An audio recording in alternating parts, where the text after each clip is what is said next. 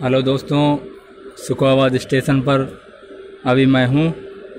और ये देखिए फ़र्स्ट ट्रेन मैंने आपको पहले दिखाई। ये सेकंड ट्रेन है जो निकल लॉन्ग रूट की है, जा रही है। देखिए कितनी स्पीड से जा रही है।